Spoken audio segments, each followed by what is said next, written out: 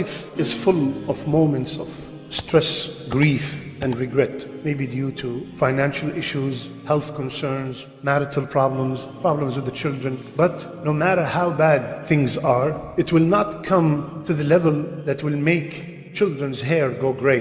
It will not come to the level of a woman forgetting about her baby. It will not come to a level that a pregnant woman will drop her load. It will not come to the level of looking at the people and seeing them. They look like they're drunk, but they're not drunk. All these descriptions are exclusive to one day. Allah told us that that will take place on the day of judgment. When He said, يوم ترونها تذهل كل مرضعة عما أرضعت وتضع كل ذات حمل حملها وترى الناس سكارى وما هم بسكارى ولكن عذاب الله شديد On that day you will see that a woman leave, neglect her nursing baby and a pregnant woman will abort her pregnancy and you will look at the people and you will think they are intoxicated but they're not intoxicated but because of the torment, because of the situation, because of the horror of that day it is shadid, it is severe a day so intense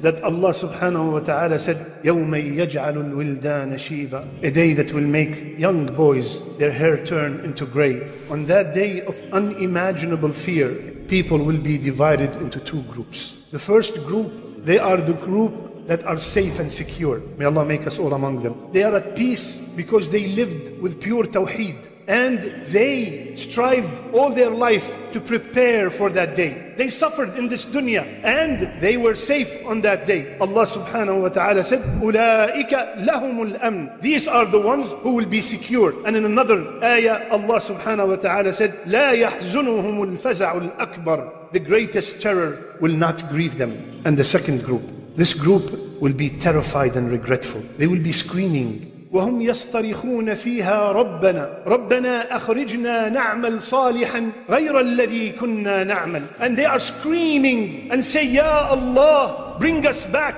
so we can do things that are different than what we used to do we want to do something good now we want to do something righteous other than the evil that we used to do and another ayah ربنا أبصرنا وسمعنا فرجعنا نعمل صالحا إنا موقنون يا Allah now we can see the hellfire now we can hear the hellfire Ya Allah bring us back we are موقنون we have yaqeen now we have certainty that it does exist even the day itself, Allah subhanahu wa ta'ala called it Yawm al-Hasra. In Surah Maryam, Allah Azza wa Jal said, وَأَنذِرْهُمْ يَوْمَ الْحَسْرَةِ And warn them about the day of regret. Rasulullah sallallahu alayhi mentioned several matters that will bring regret on the day of judgment. So let's take them one by one. First, regret of not giving Surah Al-Baqarah its due attention. Rasulullah sallallahu alayhi he said, recite Surah Al-Baqarah, for constantly reciting it will bring barakah to your life, and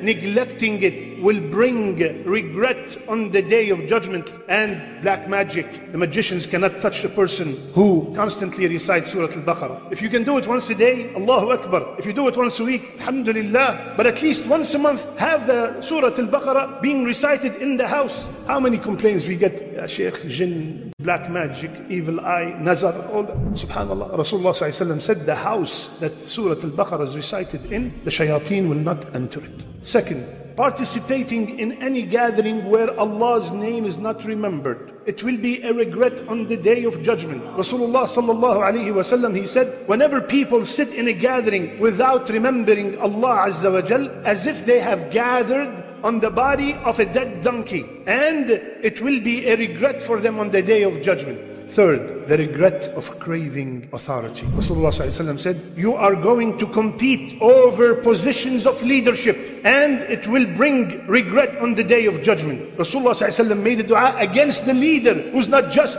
And Rasulullah told us that if somebody has been assigned as a leader of three, four people, even a community, whatever the number is, and he was not just with them, he will not smell Jannah. And we are fighting to get to these positions. It will be a hasra, it will be regret on the day of judgment judgment. The fourth kind of regret is the regret of those whose acts of worship contained riyah, the ones whom their acts of worship contained showing off. Showing off, my brothers and sisters, destroys, diminishes the amal, no matter how huge it is. If it was intended the pleasure of other than Allah, it's multiplied by zero. Imagine $10 million donation just to show off. Gone, gone. And the guy next to you, $10 from the bottom of his heart. He's been saving and taking from his mother. His is better than your 10 million. It's all about sincerity. Every single time you want to do any action, ask yourself one word. Why? Why? Why am I doing this? Why am I volunteering? Why am I donating? Why did I grow my beard? Why did I wear the hijab? Why? If the answer is the pleasure of Allah, Allahu Akbar, proceed. If not, pause, reset, and refresh your intention. One of the Salaf, they walked into him and he was weeping, weeping. And the other man who came, he asked him, What's wrong? He said, Did you read this ayah? He said, Which ayah? وَبَدَى لَهُم مِّنَ اللَّهِ مَا لَمْ يَكُونُوا يَحْتَسِبُونَ And they found out on the day of judgment many things they did not expect. They were going thinking that, oh, I died at 70, at 80, I have tons. I donated so much, I fasted so much. And they found out that because of showing off, all these amal were destroyed. The fifth the regret of the people who backbite. They are literally handing their good deeds on a golden platter to the people they could not stand in the dunya. Rasulullah sallallahu alayhi wasallam, he said, Whomsoever have wronged anybody, let him settle it right now. Let him ask for forgiveness right now. Because on the day of judgment, there's no more dirham or dinar. The currency is hasanat and sayyiat. And he will give the hasanat to the people he harmed. And if he doesn't have any hasanat, he will take take from their evil deeds. We worked so hard. We are fasting. We're praying Qiyam, reading Quran. And at the end of the day, on the day of judgment, I cannot give my mother one hasana, but I give the guy that I spoke behind his back tons of hasanat. Those people will regret every word they spoke about someone, every rumor they spread about them, every news they forwarded without even checking the authenticity. The sixth moment of regret are the people who regret they did not take advantage of every single moment while they are above the ground. My beloved brothers and sisters, sisters, we do not want to be from the people who on the day of judgment they would say, Ya laytani qaddamtu li hayati. Ya Rab, Ya Allah, I beg you the best of your names. Everybody who's watching us, do not make us from the people who would say, I wish I have done more. I wish I've done more to this life. Assalamu alaikum. Islamic Motivation Deenzone and Deenzone Bangla is our official channel. Visit our description box and pin command to buy some Islamic products. Thank you. Assalamu alaikum. Islamic Motivation Dinjon and Dinjon Bangla is our official channel.